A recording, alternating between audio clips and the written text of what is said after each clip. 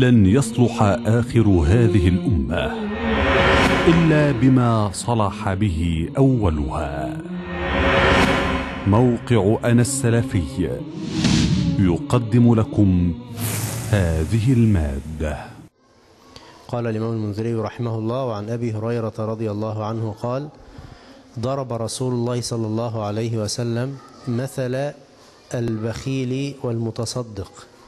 كمثل رجلين عليهما جنتان من حديد. قد اضطرت أيديهما أو اضطرت أيديهما إلى ثديهما وتراقيهما. فجعل المتصدق كلما تصدق بصدقة انبسطت عنه حتى تغشى أنامله وتعفو أثره وجعل البخيل كلما هم بصدقة قلصت وأخذت كل حلقة بمكانها. قال أبو هريرة فأنا رأيت رسول الله صلى الله عليه وسلم يقول بأصبعيه هكذا في جيبه يوسعها ولا تتوسع. رواه البخاري ومسلم والنسائي ولفظه مثل المتصدق والبخيل كمثل رجلين عليهما جبتان أو جنتان من حديد من لدن يديهم يديهما إلى تراقيهما. فإذا أراد المنفق أن ينفق اتسعت عليه الدرع أو مرت حتى تجن بنانه وتعفو أثره. فإذا أراد البخيل أن ينفق قلصت ولزمت كل حلقة موضعها. حتى إذا أخذت بترقوته أو برقبته. يقول أبو هريرة أشهد أنه رأى رسول الله صلى الله عليه وسلم يوسع ولا تتسع. قال الجنة كل ما وقى الإنسان ويضاف إلى ما يكون معه أو منه. التراقي جمع ترقوة وضمها لحن. يعني نقول ترقوة خطأ. وهو العظم الذي يكون بين ثغرة نحر الإنسان وعاتقه. قلصت أي انجمعت وتشمرت. وهو ضد استرخت وانبسطت. والجيب هو الخرق الذي يخرج الإنسان منه رأسه في الثوب ونحوه. في هذا الحديث يضرب لنا النبي صلى الله عليه وسلم مثلا يبين لنا فيه مثل البخيل أو صورة وحالة البخيل والإنسان المتصدق. بصورة رجل أو رجلين كل منهما عليه درع من الحديد. فالإنسان إذا أراد أن يتصدق وكان كريما فإن نفسه تطاوعه على ذلك ويدفعه الإيمان الذي في قلبه إلى النفقة والتصدق على الفقراء والمساكين ونحو ذلك. بخلاف الإنسان البخيل كلما هم بذلك فإنه يتراجع ويتكاسل ولا يكاد يفعل. يقول الإمام الخطابي رحمه الله في شرح الحديث هذا مثل ضربه الله تعالى للجواد والبخيل. هو يقصد ضربه الله تعالى لأن السنة وحي. فهذا وحي أوحاه الله عز وجل إلى النبي صلى الله عليه وسلم. شبههما برجلين أراد كل واحد منهما أن يلبس درعا يستجن بها. والدرع أول ما يلبس إنما يقع على موضع الصدر والثديين إلى أن يسلك لابسها يديه في كميه ويرسل ذيلها على أسفل بدنه. ويستمر سفلا يعني في النزول للأسفل يعني. فجعل صلى الله عليه وسلم مثل المنفق مثل من لبس درعا سابغة فترسلت أو فاسترسلت عليه حتى سترت جميع بدنه وحصنته. وجعل البخيل كرجل يداه مغلولتان ما بين يداه مغلولة ما بين دون صدره. فإذا أراد لبس الدرع حالت يداه بينها وبين أن تمر سفلا إلى على البدن واجتمعت في عنقه فلزمت ترقوته فكانت ثقلا ووبالا عليه من غير وقاية له وتحصين لبدنه والله أعلم. يقول وسيعيد المؤلف الحديث بعد ستة أبواب مشروحا بنحو هذا. الإنسان حينما يريد أن يلبس الدرع فإنما ينزلها من الأعلى ثم يدخل يديه بعد ذلك في الدرع تقيه ضربات الأعداء في المعارك. فإذا كانت ضيقة فإذا وضعها وحاول إدخال يديه فيه فإنها يعني لا تستره ولا يستطيع أن يدخل يديه فيها. كالثوب الضيق. يعني إنسان يريد أن يلبس ثوبا وكان ضيقا. يقوم أول ما يدخل الثوب من الرأس يحاول يدخل إيديه يمين وشمال ما تدخلش. إيديه تفضل عند رقبته كده. يبقى هو ولا هو ستر نفسه ولا هو فك إيديه. كذلك الإنسان البخيل. الإيمان الذي في قلب الإنسان الكريم يدفعه ويحثه على فعل الخير والمعروف. والعكس في الإنسان البخيل فالحرص والشح الذي طبع عليه وجبل عليه وتربى عليه يمنعه من أن يفعل ذلك. قال ضرب رسول الله صلى الله عليه وسلم مثل البخيل والمتصدق كمثل رجلين عليهما جنتان من حديد. جنتان كما قال الجنة كل ما وقى الإنسان. يقال جنة لأنها تستر المقاتل كما في الحديث الصوم جنة. الصوم جنة لأنه يحمي الإنسان من الشهوات ويقيه شرها وكذلك يقيه شر النار لأن النار حفت بالشهوات. جنتان من حديد قد اضطرت أيديهما إلى ثديهما أو اضطرت أيديهما إلى ثديهما وتراقيهما. فجعل المتصدق يعني هذه الجنة جعلت اليد عند الترقوة. ما هوش عارف يحرك إيده. فجعل المتصدق كلما تصدق بصدقة انبسطت عنه انبسطت اللي هي الجنة حتى تغشى أنامله. لما يتصدق هذه الجنة التي يلبسها تغطي الأنامل أي الأصابع وتعفو أثره. وجعل البخيل كلما هم بصدقة قلصت وأخذت كل حلقة بمكانها. العكس يجي البخيل يطلع الصدقة الجنة اللي هي عليه تقل وترتفع فتجعله يمسك ولا يخرج الصدقة قال أبو هريرة فأنا رأيت رسول الله صلى الله عليه وسلم يقول بأصبعيه هكذا في جيبه يوسعها ولا تتسع. الجيب اللي هو الفتحة التي في أعلى الثوب ده اسمه الجيب مش الإيه؟ مش اللي في اللي إحنا بنحط إيدينا فيه مش اللي في الجنب. الجيب أدخل يدك في إيه؟ في جيبك اللي هو فتحة الرأس. فالنبي صلى الله عليه وسلم وضع صوابعه يوسع كده الثوب ولا يتسع بيشبه ذلك يشبه الدرع الذي يلبسه الإنسان بالثوب الذي يلبسه. مثل المتصدق والبخيل كمثل رجلين عليهما جبتان أو جنتان من حديد من لدن يديهما إلى تراقيهما يعني هو لابس الدرع ده من أول إيده لحد الترقوة الترقوة اللي هي العظمة دي. لو قال عندك في الشرح العظم الذي يكون بين ثغرة نحر الإنسان وعاتقه. اللي هما العظمتين دول اسمها الترقوة. اللي هي الآية بتقول كلا إذا بلغت الإيه؟ التراقي إذا وصلت الروح إلى هذا المكان. عليكم السلام فإذا أراد المنفق أن ينفق اتسعت عليه الدرع أو مرت حتى تجن بنانه يعني تغطي وتستر. وإذا أراد البخيل أن ينفق قلصت ولزمت كل حلقة موضعها. حتى إذا أخذت بترقوته أو برقبته يقول أبو هريرة أشهد أنه رأى رسول الله صلى الله عليه وسلم يوسع ولا تتسع. في هذا الحديث بروايتيه فوائد. أولها في قول أبي هريرة ضرب رسول الله صلى الله عليه وسلم مثل البخيل والمتصدق فيه ضرب الأمثال لتقريب المعنى للأفهام. ضرب الأمثال لتقريب المعنى للأفهام. وهذه طريقة نبوية كثيرا ما يفعل ذلك النبي صلى الله عليه وسلم ليقرب المعنى للأمة فيضرب الأمثال حتى نفهم وحتى نعي. وفيه ذم البخل وضرره على صاحبه في الدنيا والآخرة. ذم البخل وضرره على صاحبه في الدنيا والآخرة. بعض الناس ربما بخل بما وجب عليه فلا ينفق مثلا على زوجه وولده. وهذا آثم لتقصيره في الحق الذي وجب عليه. وبعضهم يبخل بالزكاة الواجبة عليه لا يخرجها. وهذا أيضا آثم.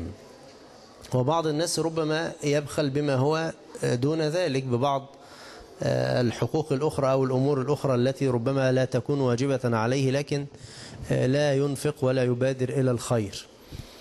فالبخل ضرر وخطر على الإنسان في الدنيا والآخرة ولا حول ولا قوة إلا بالله. في حين أن الكرم والجود خير للإنسان في الدنيا والآخرة. والكرم والجود لا ينقص نفقة الإنسان ولا مال الإنسان بل يبارك الله عز وجل بسببه في المال. وأيضا من الفوائد على العبد أن يجاهد نفسه على طاعة الله كي لا يحرم من الخير. على العبد أن يجاهد نفسه في طاعة الله. يعني ما تقولش أصل أنا اتربيت كده. كما يفعل بعض الناس مثلا أصل أنا من المحافظة الفلانية ومعروفين مشهورين مثلا بالبخل بالإمساك يعني والتقطير. يقول لك أصل إحنا كده. لا. بل على الإنسان أن يجاهد نفسه. كما في الحديث الخير عادة. الخير عادة كما صحح الحديث أو حسنه الألباني رحمه الله. الخير عادة يعني بحسب ما إيه؟ يعود الإنسان عليه نفسه. وإلا فأكثر الناس ربما تعود على الشر وعادات ضارة به. الذي يدخن مثلا يقول لك أنا بقالي خمسين سنة ثلاثين سنة بدخن. هبطلها إزاي؟ لا ما هذه ليست هذا ليس بعذر لك. الكفار قالوا إنا وجدنا آباءنا على أمة. فهذا ليس بعذر له بل على الإنسان أن يجاهد نفسه لفعل الخير وترك الشر. جاهد نفسك واستعن بالله. هل لجأت إلى الله وتركك؟ ولم يعينك سبحانه وتعالى أصدق في اللجوء إلى الله سبحانه وتعالى واستعن بالله وقد أعانك. وخذ بالأسباب والله عز وجل يعينك. فلو كان الإنسان بخيلا فعليه أن يجاهد نفسه ويدرب نفسه على الكرم والجود والإنفاق. أيضا فيه أثر التربية السيئة في حرمان العبد من الخير. البخل كمثل يعني التربية على البخل كما يفعل بعض الناس يربي أولادهم منذ الصغر على البخل والتقتير أثر التربية السيئة في في حرمان العبد من الخير. ولننظر هنا في فعل أبي هريرة حينما يقول رأيت رسول الله صلى الله عليه وسلم يقول بأصبعيه هكذا في جيبه. قوله يقول بأصبعيه أو قال بيده كذا المقصود الفعل. يعني هو شاف النبي صلى الله عليه وسلم حط صوابعه في فتحة القميص يوسعها. فالصحابة نقلوا كل حاجة عن النبي صلى الله عليه وسلم حتى اللي عملوا قدامهم. الصورة اللي شافوها نقلوها. فهذا فيه فضل الصحابة رضي الله عنهم ودورهم في نقل السنة إلى الأمة. وفي قوله سبغت عليه في حال الإنسان الجواد الكريم حينما ينفق فبين أن الدرع تكون سابغة عليه فهذا فيه أثر الصدقة في زيادة المال والبركة فيه. أثر الصدقة في زيادة المال والبركة فيه. نقل أو ذكر الإمام المنذري رحمه الله الحديث أيضا في كتاب الصدقات في الترغيب في الإنفاق في وجوه الخير كرما. قالوا عن أبي هريرة رضي الله عنه أنه سمع رسول الله صلى الله عليه وسلم يقول مثل البخيل والمنفق كمثل رجلين الحديث الذي ذكرناه. قال معنى الحديث أن المنفق كلما أنفق طالت عليه وسبغت. إيه اللي طالت؟ الجب أو الجنة التي يلبسها. حتى تستر بنان رجليه ويديه. أصابع أطراف يعني. والبخيل كلما أراد أن ينفق لزمت كل حلقة مكانها فهو يوسعها ولا تتسع. شبه صلى الله عليه وسلم نعم الله تعالى ورزقه بالجنة أو بالجبة. فالمنفق كلما أنفق اتسعت عليه النعم وسبغت ووفرت. أنتم مركزين؟ فالإنسان الجواد كل ما ينفق النعم تزيد. الله عز وجل يبارك له ويزيد له في الخير.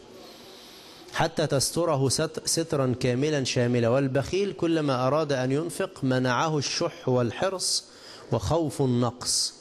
زي ما قلت لك الإنسان الكريم يدفعه الإيمان الذي في قلبه واليقين فيما عند الله كي يتصدق. بخلاف الإنسان البخيل يجي ينفق الأولاد. طب المدارس طيب البيت. طب مش ممكن الغسالة يحصل لها حاجة هتجيب منين؟ طيب وتلاقي مئة علة وعلة تمنعه من الإيه؟ من التصدق. البخيل كلما أراد أن ينفق منعه الشح والحرص وخوف النقص فهو يمنعه.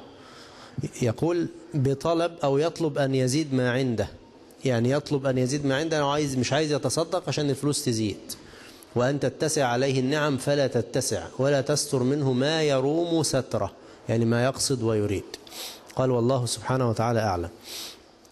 كده الشرح ده يعني أوضح مما ذكر أو نقل عن الإمام الخطابي فيما ذكرناه. النسخة بتاعت الشيخ الألباني الشرح ده في رقم في حديث رقم 905 في كتاب الصدقات برضو الترغيب في الإنفاق في في وجوه الخير اللي هو الفصل رقم 15 عشان لو عايز تنقل نفس الشرح على الحديث. قال وعن أبي هريرة رضي الله عنه أن رسول الله صلى الله عليه وسلم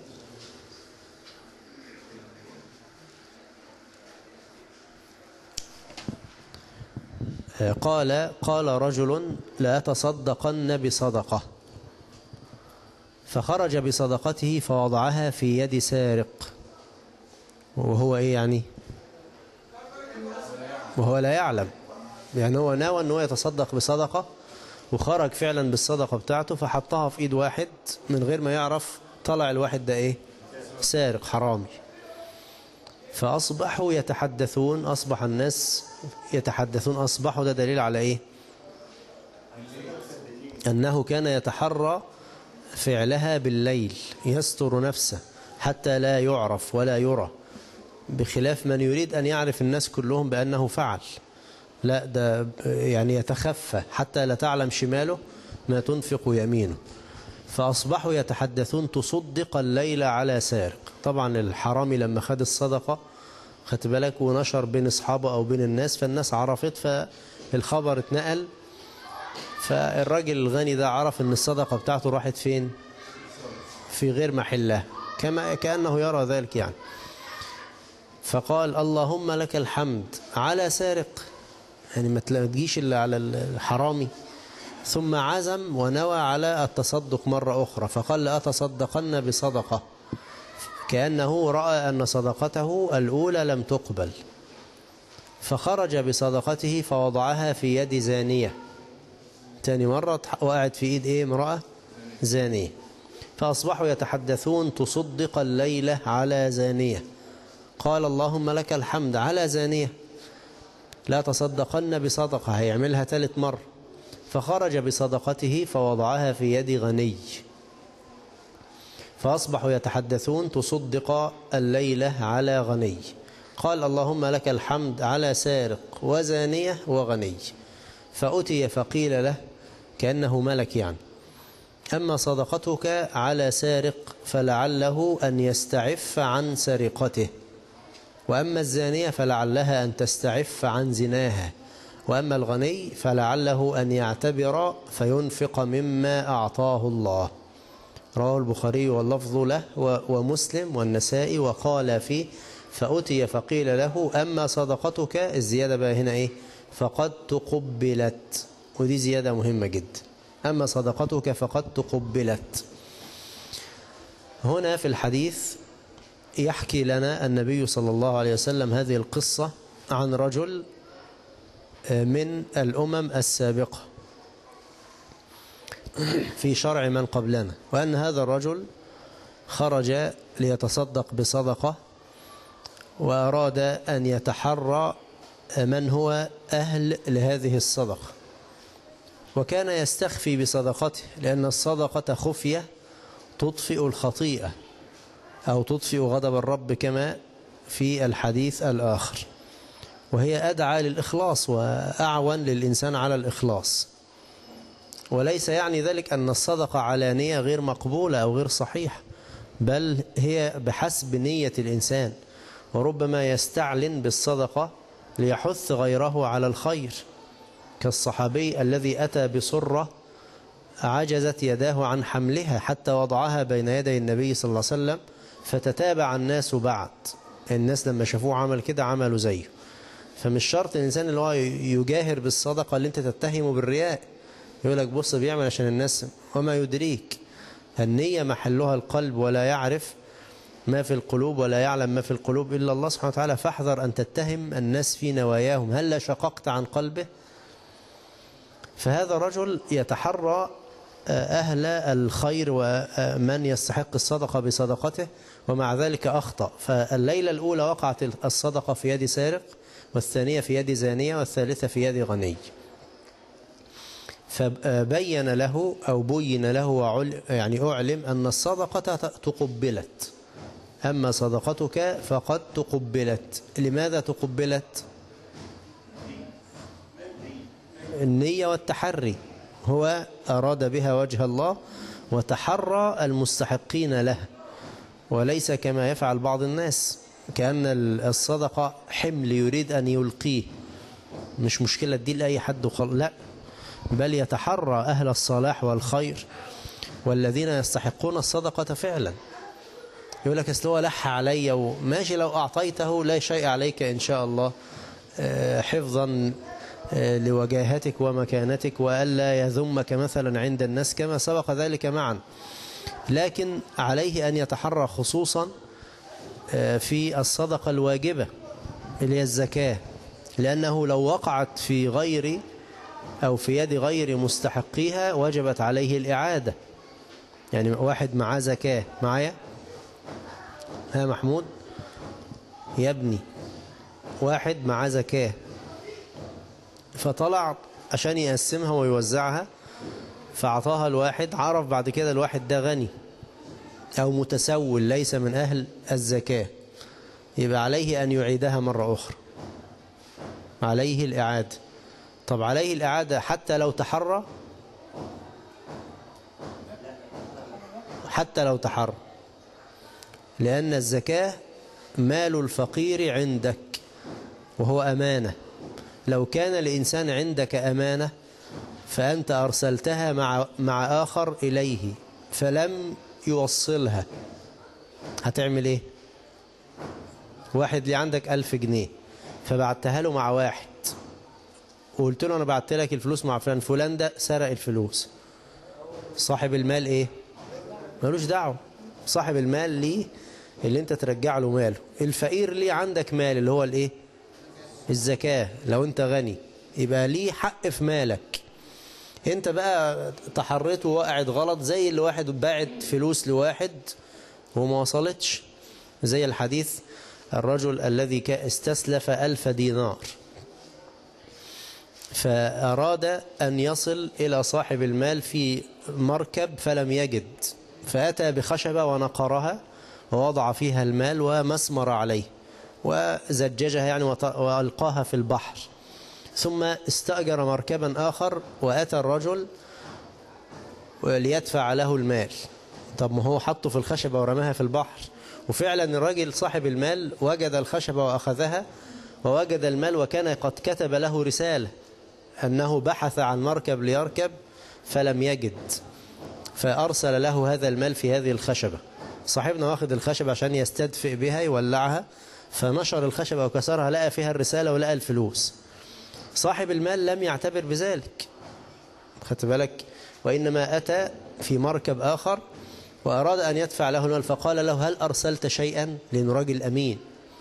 مش نام على الألف اللي وصلته في الخشبة. هل أرسلت هل كنت قد أرسلت شيئا؟ قال قلت لك هذا أول مركب. يعني يقول أنا أول سفينة دي ألاقيها. مع أنه فعلا بعت. فقال قد أدى الله عنك. وبين له أنه وجد الخشبة ووجد فيها الألف دينار. طب لو ما وصلتش أو هو بعتها مع واحد والإنسان ده سرقها وأخذها فعليه أن يعيد السداد مرة أخرى.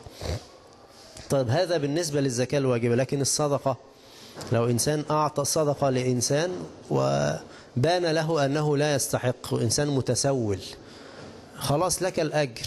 والإثم على مين؟ على الآخذ الإثم على الآخذ. والدليل حديث أما صدقتك فقد تقبلت. طيب قد يقول قائل طب هذا الحديث ألا يصلح دليلا؟ في الزكاة الواجبة أنها تقبل حتى لو وقعت في يد من لا يستحقها؟ ينفع نستدل بالحديث ده؟ أولا هو في شرع من قبلنا ثانيا هذا في الصدقة المستحبة وليس في الزكاة الإيه؟ الواجبة لأن الزكاة الواجبة لا تكرر. لأن الزكاة الواجبة لا تكرر وإنما يخرجها مرة واحدة. في الحديث فوائد. أولها الحرص على إخفاء الأعمال وأنه أعون أعون على الإخلاص.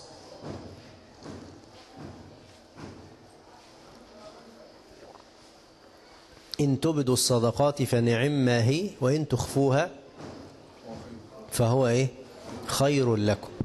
فالأفضل الإخفاء وإخراج الصدقة في السر إلا لو كانت هناك مصلحة من الإيه؟ من الإعلان بالصدقة. إلا لو كانت هناك مصلحة من الإعلان بالصدقة. مصلحة مثل حث الناس على التصدق أو تنبيه البخلاء أو الأغنياء. إن بعض الناس مثلا بيطلع مثلا زكاته مليون جنيه في السنة. ده مش كتير. في ناس أغنياء فعلا ربنا يبارك. فالزكاة بتاعته اللي هي 2.5% بتطلع كام؟ مثلا مليون. ففي بعض الناس اللي هم أقل منه في الثروة مثلا لو زكاته طلعت مئة ألف يبقى هيموت يقول لك أطلع مئة ألف. ده إيه؟ أنا بلاقي الفلوس بالساهل. فيوم الغني ده اللي بيطلع المليون لما قدامه ويطلع كده ويوصل الزكاة للفقراء يقعد مثلا يتكلموا مع بعض أنا جبت محاسب وبيحسب لي الزكاة فطلعت مليون إلا مش عارف كم ألف وكده. فممكن ده يبقى دافع ليه إنه إيه؟ يخرج ما لديه من الصدقات. يبقى مثال قدامه عملي ما هو راجل أهو أغنى مني وربنا موسع عليه وبيطلع أكتر مني وما تفقرش برضه. فممكن يبقى في مصلحة من من الجهر بالصدقة ونحو ذلك. الثانية قبول الصدقة حتى لو وقعت في يد غير مستحقيها. قبول الصدقة. أما صدقتك فقد تقبلت. وإن وقعت في يد غير مستحقها أو من لا يستحقها. والإنسان عليه أن يتحرى. عليه أن يتحرى. طيب سؤال. الزانية لماذا تمد يدها؟ المرأة الزانية لماذا مدت يدها؟ الحاجة الحاجة. فالحاجة قد تدفع بعض الناس إلى الانحراف. قد تدفع الحاجة بعض الناس إلى الانحراف. لذلك على الحاكم أو الإمام والأغنياء كذلك سد حاجات الناس لحفظهم من الانحراف كالسرقة والزنا. ما ممكن بعض الشباب فعلا تيجي تكلمه بيشتغل ليه في ليه بتتاجر مخدرات؟ يقول لك نعمل إيه يا عم الشيخ؟ مش لاقيين شغل. ونيجي نعمل شغل الحكومة بت... مش عارف بتطاردنا والحكومة مش عارف إيه. وهو على دماغه لازم يعني يخالف عشان يكسب. لو مثلا الإزالة ولا غيره جت تقول له ما توقفش مخالفة وكده يبقى كده الحكومة بتحاربه. هو لا يا كده يا أشتغل بقى في المخاطر لا أبواب الخير كتير وأبواب الرزق كتيرة جدا وبالحلال وبدون ما تبقى فيها تضييق الشوارع مثلا على الناس أو غير ذلك أو أذية الناس. وهذا ليس مبررا لك لتعمل في الحرام أو تتاجر في الحرام. لكن هي في الحقيقة فعلا بخل الأغنياء بالصدقات أو الزكوات من أسباب انحراف الناس خصوصا الفقراء. يبقى إنسان فقير والغني لم يخرج الزكاة فمش لاقي ما فيش قدامه أي باب فيسرق. أو ربما تنحرف بعض النساء وتزني والعياذ بالله بسبب بخل أصحاب الأموال بالصدقات والزكوات التي لازمتهم فالحاجة قد تدفع بعض الناس فعلا إلى الانحراف وإلى المعصية. أيضا من الفوائد الزكاة من أسباب تماسك المجتمع وصلاحه. الزكاة من أسباب تماسك المجتمع وصلاحه. ليه؟ لأن الفقير لا يحقد على الغني. لما يعرف إن الأغنياء بيطلعوا الزكاة بتاعتهم هيقول ربنا يبارك له. لكن ما يعرف إن هم بخلة وما يطلعوش ربنا يولع فيهم هيدعي عليهم. يبقى ينتشر الحقد والحسد والغل بين أفراد المجتمع. لكن إما كل إنسان يؤدي ما عليه من الحقوق هذا من أسباب تماسك المجتمع وصلاحه بلا شك. وفيه أيضا جواز الحديث عمن قبلنا. جواز الحديث عمن قبلنا. وفيه فائدة أخرى. صدق النية من أسباب القبول. صدق النية من أسباب القبول. هذا الرجل الغني صدق الله عز وجل بل رأيناه يتحرى بصدقته المستحقين بل كذلك يحاول أن يتخفى بالصدقة لا يخرجها على الملأ.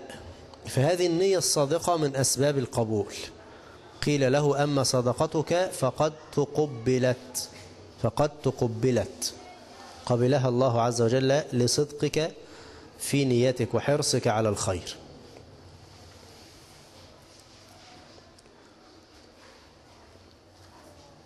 وأما الغني فلعله أن يعتبر فينفق مما أعطاه الله. هذا ما أشرنا إليه منذ قليل.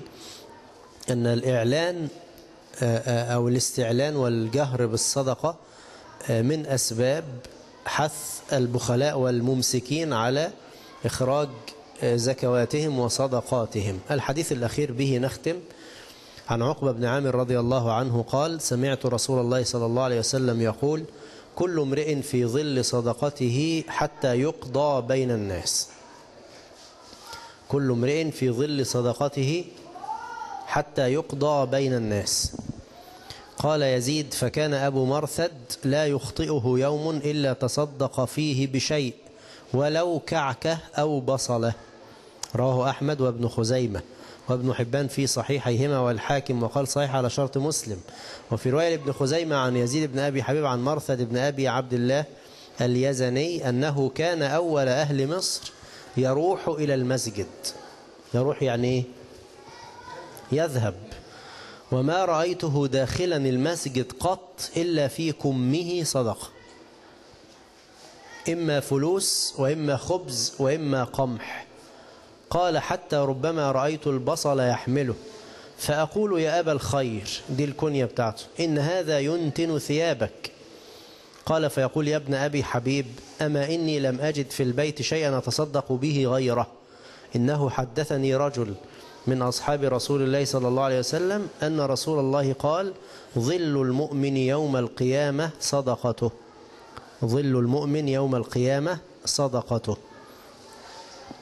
انظروا لفعل السلف وحرصهم على الخير ولو بالقليل. هذا رجل رحمه الله وهو من التابعين قد سمع حديثا من بعض الصحابة. سمع أو نقل له هذا الحديث عن بعض الصحابة. كل امرئ في ظل صدقته حتى يقضى بين الناس. يسمع ويطبق. كان لا يخطئه يوم إلا تصدق فيه بشيء. يعني لا يخطئه يوم. يعني لا يمر عليه يوم بغير صدقة ولو كعكة أو بصلة. يعني وشوف الحاجات اللي كثير من الناس ربما يخزنها في البيت. ويزعم الفقر أو يدعي الفقر وأنه مقل وليس لديه ما يتصدق به. ما فيش بيت ما فيش فيه بصل تقريبا. أو غير ذلك من الأمور اليسيرة. رغيف خبز مثلا. فهذا رجل كان كل يوم يحرص على الصدقة. شوف القصة يقول إيه؟ كان أول أهل مصر يروح إلى المسجد. يبقى هذا فيه أفضلية التبكير إلى المسجد. وقد ذكرنا في صلاة الفجر أن أول من يروح إلى المسجد يرافقه ملك برايته حتى يعود ويعود معه الملك ويدخله بيته. فالتبكير إلى الصلاة والتبكير إلى المساجد هكذا كانوا يسمعون ويطبقون. يبقى أول واحد على باب المسجد في صلاة الفجر مثلا. وما رأيته داخلا المسجد قط إلا في كمه صدقة. وده محمول هو بيقول كان أول أهل مصر. مش أهل مصر اللي هم مصر كلها لا يقصد هو من مصر في المكان اللي هو كان فيه. كان يبكر فكان يسبق كل من معه في البلد أو في القرية في المسجد. وهذا يعرف ويعلم بسهولة قديما لأن المساجد لم تكن بهذه الكثرة التي في أيامنا كان مثلا القرية يبقى لها ليها جامع واحد بس. وده موجود في بعض القرى إلى الآن جامع القرية. مفيش في القرية غيره. عشان كده لو فلان ما بيجيش يبقى فلان ما بيصليش. خدت بالك؟ لكن دلوقتي هو ممكن يكون صلى في الجامع ده أو في الجامع الثاني أو في والشارع الواحد فيه أربع مساجد. وهذا مخالف بلا شك. مش أي واحد عايز يعمل جا... لا أنت كده بتفرق الناس. إنسان الناس تتجمع في وخصوصا في صلاة الجمعة. ده يعمل جمعة وده جمعة وده جمعة والميكروفونات اخد بالك في بعضها انت مش فاهم حاجة ولا سامع حاجة. خلاف لما يبقى جامع لأن المساجد تبنى في الأماكن التي تحتاج إليها ويحتاج إليها الناس. يبقى جامع واحد ويجمع الناس أفضل من تفريق الناس بهذه الصورة. فهو يقول لك أول أهل مصر يروح إلى المسجد إزاي؟ ما هو مسجد. فهو بيبقوا عارفين مين اللي جه النهاردة ومين اللي ما جاش ومين اللي بيجي بدري ومين اللي بيجي متأخر. خدت بالك؟ وفي نفس الوقت يقول لك ما رأيته داخلا المسجد قط إلا في كمه صدقة. كان في نظام الأكمام الطويلة بتاعت الصع... زي الصعايدة كده. فالكم الطويل ده كانوا يستعملوه في حاجات كتير. يحط فيه الكتاب الورق اللي بيحضر فيه الدرس. خدت بالك؟ فنف... زيها نفس الموضوع ده. مع حاجة مثلا جايبها فشايلها في الكم مثلا وقافل عليها بيفتح الكم ويتصدق به إما فلوس وإما خبز وإما قمح. وربما رآه يحمل البصل فيقول له هذا ينتن ثيابك هيعمل هيخليها فيها ريحة فيقول يا ابن أبي حبيب أما إني لم أجد في البيت شيئا أتصدق به غيره. تخيل كده معايا الموقف واحد ما فيش في بيته إلا بصل ورغم كده بيتصدق. يعني ما فيش رز مثلا شايله للسنة كلها مخزنه ما فيش التلاجة مش عارف. وبصل. وإيه؟ واخد بصلة وطالع يتصدق بيه. عشان كده قلت لك ولو خمس قروش في اليوم صدقة.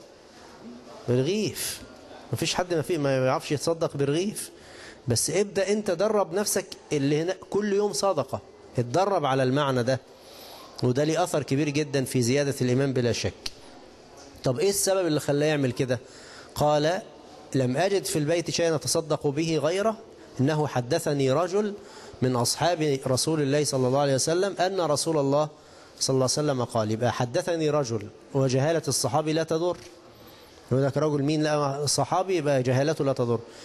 هذا تابعي لأنه سمع من من الصحابي. أن رسول الله صلى الله عليه وسلم قال ظل, ظل المؤمن يوم القيامة صدقته. إذا الصدقة تكون لك يوم القيامة ظلا. أنت عارف يوم القيامة الشمس تدنو من الرؤوس حتى تكون على قدر ميل.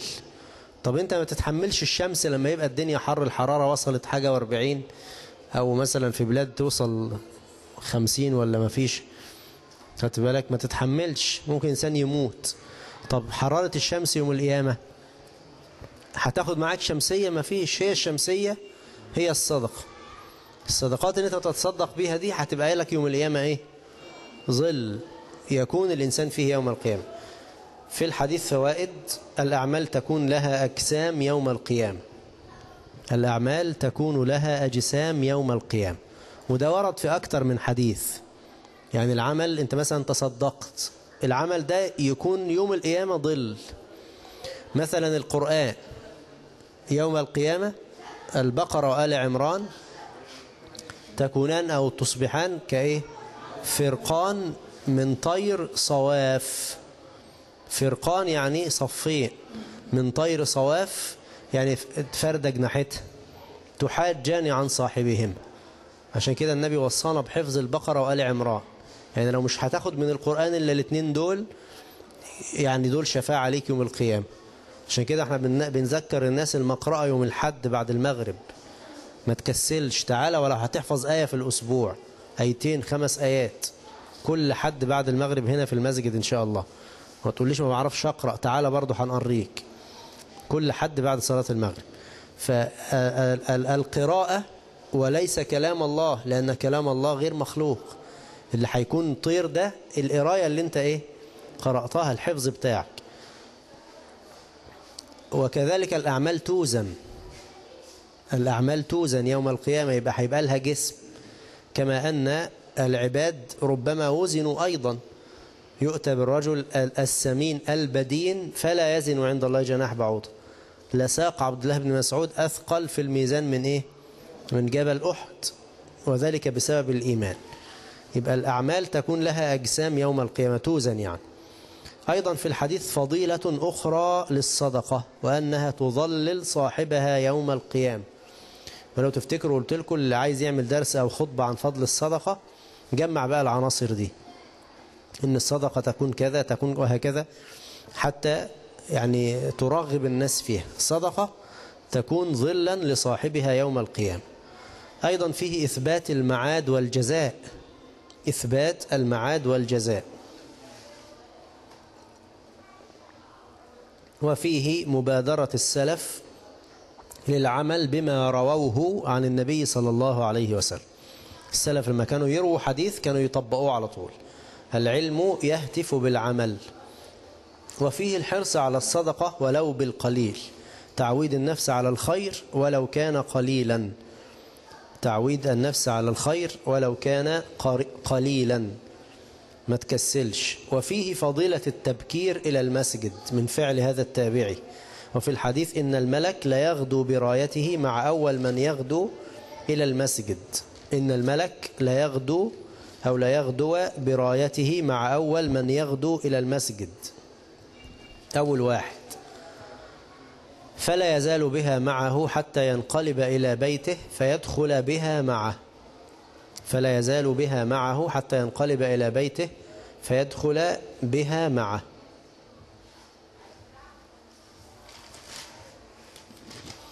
طيب آخر فائدة. كل امرئ في ظل صدقته. هل يوجد ظل يوم القيامة غير ظل العرش؟ مع أن الحديث يوم لا ظل إلا ظله. كيف نجمع بين الحديثين؟ هم؟ هم. أيوة ما عارفين. بس الحديث قال فيه يوم لا ظل إلا ظله. لا ظل. يبقى نفيه والحديث ده فيه كل امرئ في ظل صدقته لا تعارض بين الحديثين لأن المقصود الظل الذي أذن الله بوجوده. يوم لا ظل إلا ظله ظله ظل العرش ويدخل فيه كذلك الظل الذي أذن الله بوجوده كظل الصدقة. الظل الذي أذن الله بوجوده كظل الصدقة كما في هذا الحديث. لأن الله عز وجل أذن بذلك. وبين النبي صلى الله عليه وسلم أن بعض الناس يكون في ظل صدقته يوم القيامة. وهذا بلا شك يحثنا على الاجتهاد في الصدقة وإلا قد يموت الإنسان ويحرم نفسه من هذا الخير. لذلك أنا أنصح نفسي وإخواني بالصدقة اليومية.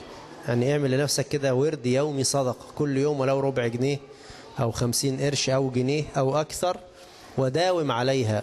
واستحضر أن هذا سيجتمع لك يوم القيامة ويكون ظلا تكون فيه يوم القيامة بإذن الله تعالى. نسأل الله عز وجل أن ينفعنا ويكم بما قلنا وسمعنا. أقول قولي هذا وأستغفر الله لي ولكم. قل هذه سبيلي أدعو إلى الله. على بصيرة أنا ومن اتبعني وسبحان الله وما أنا من المشركين.